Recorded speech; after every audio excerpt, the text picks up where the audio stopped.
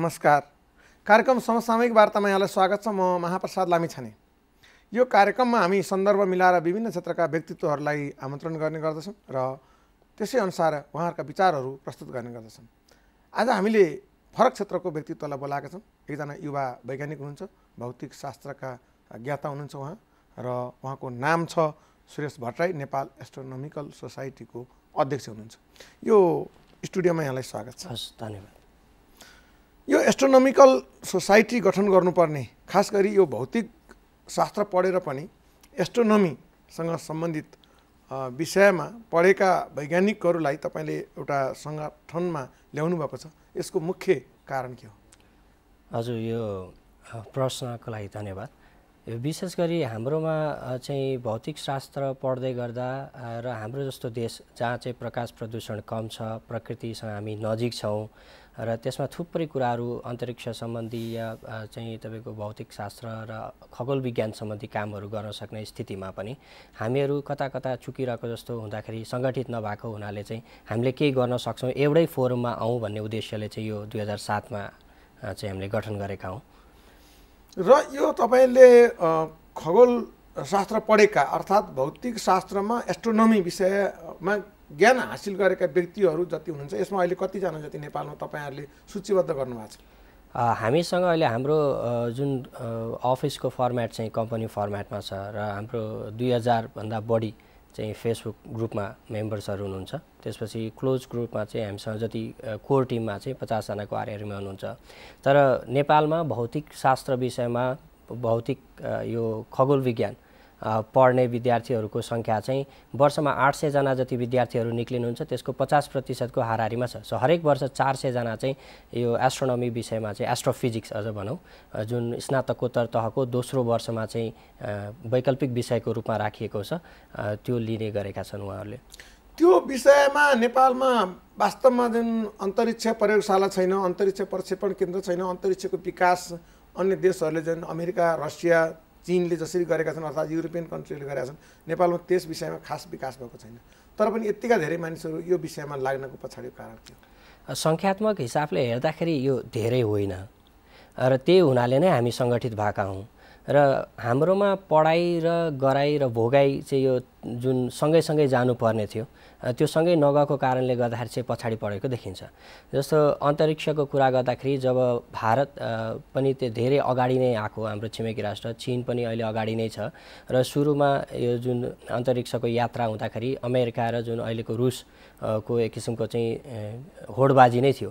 त्यो बेलामा उन्नाइस सय पचासको ताका दोस्रो विश्वयुद्ध पछिको भनौँ।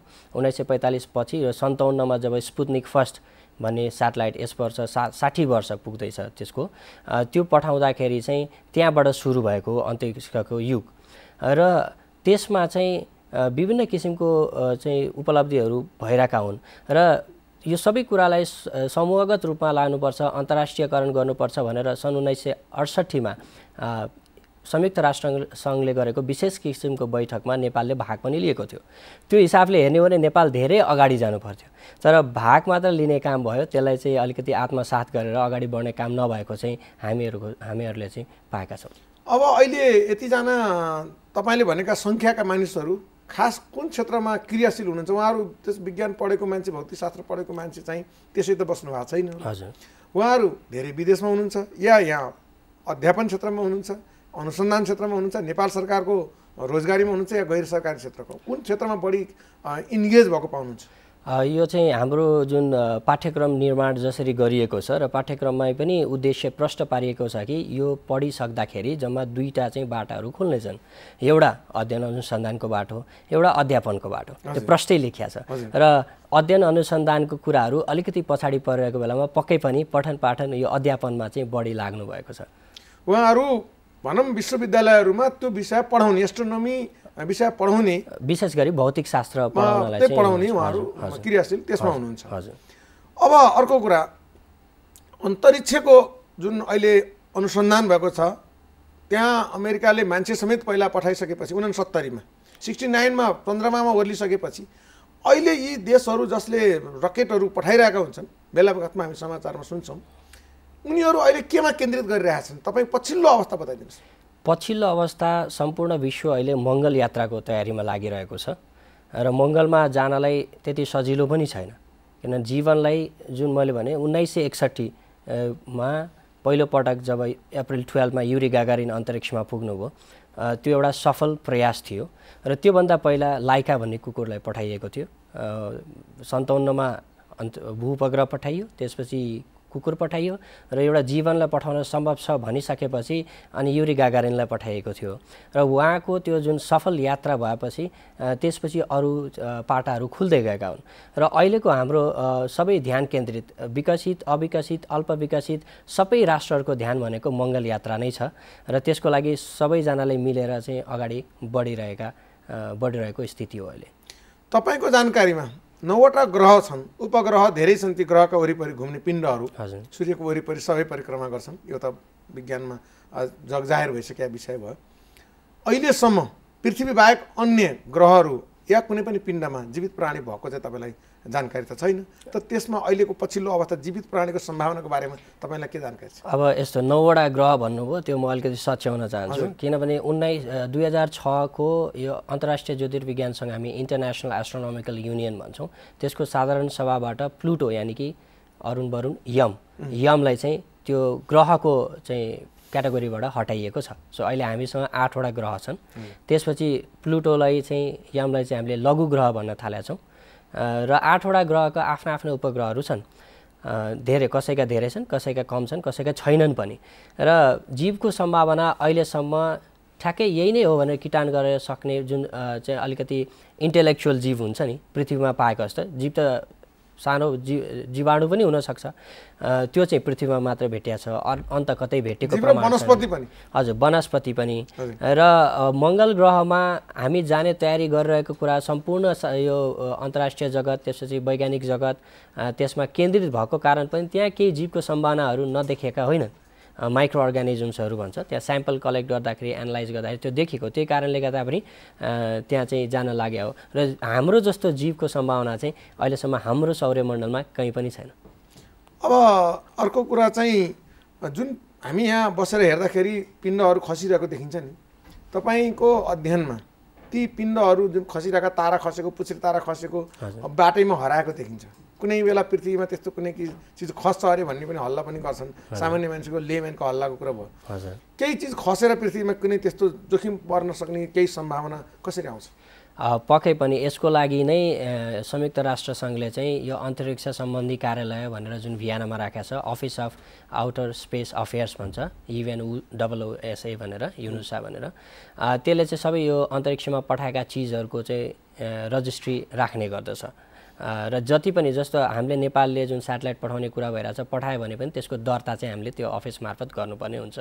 र अन्तरिक्षमा भएका यावत जुन चिजहरू छ हाम्रो वायुमण्डलभित्र आउँदाखेरि जुन पुच्छे तारा भन्नुभयो नि त्यो पुच्छे तारा चाहिँ के भने ठुला ठुला वस्तु नभएर एउटा बालुवाका कण जस्ता हाम्रो वायुमण्डलभित्र आउँदाखेरि सत्तरी किलोमिटर माथि चाहिँ घर्षण पैदा भएर जलेर नष्ट हुँदाखेरि देखिएको हो। तारा भन्ने चाहिँ हामीले आकाशमा चम्किलो चिजहरू सबैलाई तारा भन्ने गर्छौँ तर वास्तवमा तिनीहरू ताराहरू होइनन्। र उल्का त्यसलाई हामीले भन्ने गर्छौँ धेरै भयो भने उल्का वर्षा भन्छौँ। दसवटा प्रति घन्टा दसवटाभन्दा बढी देख्यो भने चाहिँ हामीले उल्का वर्षा भन्ने गरे हो। यो चाहिँ म लास्ट गत दस वर्षदेखि चाहिँ यसको अध्ययन अनुसन्धान मैले गरिरहेको म आफै सम्भवतः म एक्लो मान्छे होला नेपालबाट यो गरिराख्ने चाहिँ। पछिल्लो समय अलिकति सुस्त भएको छ यसको अध्ययन चाहिँ हुनलाई चाहिँ। तर अरू चिजहरू जो पृथ्वीमा आइपुग्यो भने जुन हामीले पिण्ड भन्छौँ नि उल्का पिण्ड त्यो आउन सक्छन्। सो कहिले भन्छौँ हामी वंशहरूले हान्यो रुख दुई टुक्रा पारिदियो फलाम जुन भेटेर लगाएर घोटेर हामीले भगवान् भनेर पुजाएर राख्छौँ नि त्यो वास्तवमा अन्तरिक्षबाट आएको चाहिँ आइरन मिटोराइट हो उल्का पिण्ड हो। र धेरै हाम्रोमा के छ भने विदेशतिर क्यामेरा नेटवर्क राखेर कहाँ छिर्छ के गर्छ भनेर खोजेर पत्ता लगाएर जम्मा पारेर राख्ने चलन छ। अब हाम्रोमा प्रविधिलाई त्यति साह्रो हामीले चाहिँ प्रयोग नगरेर राख्दा र त्यो अब सिटीमै चाहिँ सिसिटिभी क्यामेरा सबै ठाउँमा जोडेर भ्या छैन अब आकाशतिर फर्काएर कहिले राख्ने। त्यो तर यहाँ नखस्ने भन्ने होइन। कहिले कहिले हल्ला पनि आउँछ रातभरि ढुङ्गाले हान्यो घरमा होइन? हाम्रो चाहिँ अनुमान के भने मेबी त्यो चाहिँ कुनै उल्काहरू खसिरहेको हुनसक्छ। त्यसमा अलिकति अध्ययन अनुसन्धान हुनु जरुरी छ। र हामीले त्यसलाई चाहिँ अलिकति सोचिरहेका पनि छौँ। यो क्षुद्र ग्रह भन्छन् नि यो क्षुद्र ग्रह भन्ने चाहिँ के हो? अब क्षुद्र ग्रह भनेको चाहिँ मङ्गल र बृहस्पतिको बिचमा सौर्यमण्डल बन्दाखेरि जुन एक एक एउटा पाटो चाहिँ यो गरौँ ग्रहहरू भयो जसलाई हामीले टेरेस्ट्रियल प्लानेट्स भन्छौँ बुध शुक्र पृथ्वी मङ्गल। त्यसपछि केही अलिकति ठुलो त्यहाँ चाहिँ ग्याप छ। र त्यसपछि बृहस्पति शनि अरुण वरुण। यम त हटाइदिए लघु ग्रह बनाइदिए त्यो बृहस्पति र मङ्गलको बिचमा चाहिँ सासाना चट्टाङका टुक्राहरू जुन ग्रह जत्रा छैनन् र उनीहरूको आकार प्रकार पनि गोलो केहीको छ तर सबैको गोल चेप्टो बाङ्गो टिङ्गो भएका जुन सूर्यलाई नै घुमिरहेका छन् पृथ्वीले जस्तै अरू ग्रहहरूले जस्तै र तिनीहरूलाई क्षुद्र ग्रह भन्ने हो खास। अब नेपालले वैज्ञानिकहरूलाई खास गरी भौतिक शास्त्रमा पनि एस्ट्रोनोमी पढेका वैज्ञानिकहरूलाई एउटा सम्मानित तरिकाले नेपालमा अनुसन्धान गर्नको लागि या नेपालमा आफूले पढेको विषयको उच्च अध्ययन बाहिर गर्नको लागि नेपालभित्रै केही गर्नको लागि तपाईँ त्यो विषयको अध्ययन गरेको व्यक्ति युवा भएको कारणले सरकारले के गरिदियो हुन्थ्यो जस्तो तपाईँलाई लाग्छ? अब हामीले भन्दाखेरि चाहिँ के छ भने हामी सरकारबाट धेरै आश पनि गर्दैनौँ। किनभने जरुरी के छ भने जिज्ञासा राख्ने र त्यो कमिटमेन्ट गर्ने। सो आजको युगमा चाहिँ सहकार्य गरेर चाहिँ अगाडि बढ्न सकिन्छ। नेपालले तत्कालै भौतिक शास्त्र या खगोल विज्ञानमा चाहिँ ठुलो रिसर्च ल्याबोरेटरीहरू बनाउनलाई खर्च गर्न सक्दा पनि सक्दैन किनभने हाम्रो प्राथमिकताहरू अरू रहेका छन्। र त्यो हिसाबले चाहिँ हामीले जुन जुन देशसँग यस्ता चाहिँ इन्फ्रास्ट्रक्चरहरू छन् यो भौतिक सेवा सुविधाहरू छन् उहाँहरूसँग सहकार्य गरेर काम गर्न सक्छौँ। एउटा म हजुरलाई उदाहरण प्रस्तुत गर्न चाहन्छु। गत महिना हामीले एक दुई महिना अगाडि चाहिँ विद्यार्थीहरूलाई सामेल गराएर क्षुद्र ग्रह खोज्ने एउटा योजना गरेका थियौँ all Nepal asteroid search campaign भनेर जसमा प्रारम्भिक चरणमा छवटा क्षुद्र ग्रहहरू पत्ता लगाएका लागेको थियो त्यसमा। विद्यार्थीहरू उन्नाइसजना सामेल हुनुहुन्थ्यो मैले गाइड गरिरहेको थिएँ। र त्यो चाहिँ अमेरिकामा अमेरिकाको हवाईमा रहेको एक दशमलव आठ मिटर टेलिस्कोपको तस्विरहरूलाई चाहिँ हामीले चाहिँ अनुसन्धान गरेर भनेका हौँ र नेपालमा भएको सबभन्दा ठुलो टेलिस्कोप भनेको सोह्र इन्चको छ नगरकोटमा। र त्यो पनि टेलिस्कोप चाहिँ क्षुद्र ग्रह खोज्नलाई चाहिँ योग्य होइन। जुन अमेरिकाको जुन टेलिस्कोप युज गरेको थियो त्यो क्षुद्र ग्रह खोज्नलाई अझ भनौँ पृथ्वीको वायुमण्डलमा छिर्ने कुनै पनि गतिशील चिजहरूलाई चाहिँ पत्ता लगाउनलाई चाहिँ त्यो विश्वकै उत्कृष्ट टेलिस्कोप हो। त्यही भएर म फेरि पनि जोड दिन चाहन्छु कि सहकार्य चाहिँ अत्यन्तै आवश्यक छ। पहिला त देशभित्रको सङ्घ संस्थाको सहकार्य जरुरी छ। र हामीले सरकारबाट आश गर्ने भनेको चाहिँ एक्नोलेजमेन्ट इन्करेजमेन्ट त्यो भयो भने सरकारले धेरै चाहिँ विज्ञान प्रविधिमा लगानी गर्नु पर्ला भनेर तर्सिन जरुरी छैन कि जति युवाहरू लाग्नु भएको छ जति सङ्घ संस्थाहरू छ उहाँहरूको कामलाई चाहिँ यो राम्रो हो भनेर सराहना गरिदिनु भएन भने भयो भने पनि त्यो नै ठुलो सहयोग चाहिँ हुनसक्छ। नेपालका वैज्ञानिकहरू पनि नासा जस्तो अमेरिकाको अन्तरिक्ष प्रशासन संस्था नासा छ त्यस्तै किसिमको विभिन्न देशमा चाहिँ गएर काम गरेका छन् भन्ने पनि बाहिर मिडियामा आइरहेको छ। त्यस्तो कुनै सफल नेपालीहरूलाई तपाईँले चिन्नुहुन्छ? हजुर पक्कै पनि। तर म यहाँ जोड्न चाहन्छु नेपाली भन्ने कि नेपाली मूलको भन्ने चाहिँ महत्त्वपूर्ण विषय हो। किन अमेरिकी संस्था नासा एउटा चाहिँ सरकारी निकाय हो। त्यसको एउटा सर्टेन कन्ट्र्याक्ट पोजिसन बाहेक माथिल्लो तहहरूमा जानलाई र त्यहाँभित्र जानको लागि किन त्यो चाहिँ डिफेन्स अन्तर्गत पर्ने हुनाले संवेदनशील संस्थामध्ये पर्छ। र त्यहाँ अमेरिकी नागरिक बाहेक अरू कोही पनि नागरिकलाई चाहिँ त्यहाँ इन्ट्री छैन बुझ्न पर्ने कुरा। र कोही नेपाली अमेरिकामा गएर नासामा काम गर्छ भन्ने कुरा चाहिँ त्यो नेपाली मूलको भन्नु होला। ठिक होला। जस्तो अब कल्पना चावला चाहिँ यी भारतीय अन्तरिक्ष यात्री भनेर जुन भारतीय मूलको हो अमेरिकी नागरिक भएपछि उहाँ जान पाउनु होइन? त्यो चाहिँ हो। छन् थुप्रै सरहरू हुनुहुन्छ फिजिक्स निकै पुराना सरहरू त्यहाँ काम गरिरहनु भएको छ युवा पुस्ताहरू पनि गर्नुहुन्छ तर कुन लेभलमा काम गरिरहनु भएको छ भने तर ठुलो ठुलो पोस्टमा काम गरिरहेको पनि हुनुहुन्छ तर उहाँहरू चाहिँ नेपाली नागरिक चाहिँ हुनुहुन्न। हजुर। अब यो पृथ्वीको तापमान वृद्धि भन्छ नि अब तपाईँ साइन्सकै क्षेत्रको भएको हुनाले मैले सुन्न मिल्छ। यो पृथ्वीको तापमान बढिरहेछ समुद्रको सतह उठिरहेछ भन्छ। अन्तरिक्षको अध्ययनसँग यसको के सम्बन्ध छ? वास्तवमा यो तापमान बढिरहेको कुरा त्यसपछि समुद्रको सतह बढिरहेको कुरा जसरी आइरहेछ हामीले बुझ्न सकिरहेछौँ त्यो अन्तरिक्षको प्रयोगबाट नै हो। अन्तरिक्षमा चाहिँ विभिन्न किसिमका भू उपग्रहहरू छोडिएका छन् जसले पृथ्वीमा हुने हरेक गतिविधिलाई निहालिरहेको छ। त्यो निहालेको कारणले गर्दाखेरि जस्तो दस वर्ष अगाडि हाम्रै हिमतालको कुरा लिउँ न नेपालमा थुप्रै हिमतालहरू छन्।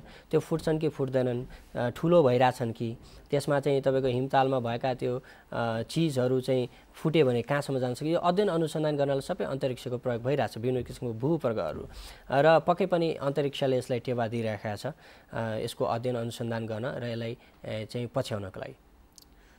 अर्को एउटा जुन सञ्चारमा अभूतपूर्व प्रगति भएको छ नि अब गुगलकै कुरा गरौँ इन्टरनेटकै कुरा गरौँ होइन अहिले जुन जति हामी सूचना पाएका छौँ टेलिफोनको रेडियो प्रसारणको कुरा गर्दाखेरि यति छिटो सञ्चार को विकास भएर एउटा संसार ग्लोबल भिलेज जस्तो भइरहेको अवस्था छ नि। त्यस्तै कृषि क्षेत्रमा पनि मौसमको भविष्यवाणी गर्नको लागि पनि यो कुन कुन क्षेत्रमा अब चाहिँ अब अन्तरिक्ष यात्रीहरूको चाहिँ र अन्तरिक्ष वैज्ञानिकहरूको चाहिँ ध्यान केन्द्रित भएको छ अहिले? अब यो अन्तरिक्षको प्रयोग यति बृहत छ नि यो एउटा सीमित विषय होइन वास्तवमा यो एउटा साझा फोरम हो कि पृथ्वीमा जसरी हामी सानो ठुलो जातपातका कुरा गर्छौँ त्यसपछि संस्कृतिका कुराहरू छौँ एउटा डिभाइडको रुल छ नि। नेपालभित्र हामी चाहिँ एक सय तिन प्र भन्दा बढी चाहिँ जात जातिका छौँ भनेको छ। त्यो विभिन्न देश एक सय लगभग दुई सयवटा भन्दा एक सय बयानब्बे प्लसवटा देशहरू छन्। जब अन्तरिक्षबाट हामीले पृथ्वीलाई हेर्छौँ हामी सिङ्गो एउटा पृथ्वी वान ब्लू प्लानेट वान प्लानेटको कन्सेप्टमा देख्छौँ। र यसले चाहिँ अन्तरिक्षको प्रयोगबाट चाहिँ विशेष गरी हामीलाई शान्ति समृद्धि र सहकार्यको चाहिँ लागि एउटा चाहिँ मेसेज स्ट्रङ मेसेज दिन्छ। त्यो बाहेक अन्तरिक्षबाट जस्तो हामीले चाहिँ यहाँ कृषिमा भन्नुभयो टेलिमेडिसिनका कुराहरू छन् टेलिभिजन ब्रोडकास्टिङ अहिले चाहिँ हाम्रो दर्शकहरूले जुन हेरिरहनु भएको थियो विभिन्न देशमा चाहिँ प्रत्यक्ष प्रसारण हेरिरहनु भएको होला त्यो अन्तरिक्षमा राखिएको भू उपग्रहकै माध्यमबाट सफल भइरहेको हो कतिजनाले सुनिरहनु भएको होला त्यो पनि त्यही कारणले सम्भव भएको। रेडियोकै कुरा गरौँ म हिजो मात्र चाहिँ उज्यालो एफएमको एउटा प्रोग्राममा इन्टरभ्यू थियो मेरो सा फाल्सा भन्ने अस्ट्रेलियाबाट एकजनाले प्रतिक्रिया पठाउनु भयो मलाई। राम्रो लाग्यो। मलाई थाहा थिएन म थकै लाएर अस्ति कार्यक्रम त्यो सुतेँ। उठ्दाखेरि उहाँले इन्टरभ्यू निकै राम्रो छ भन्नुभयो।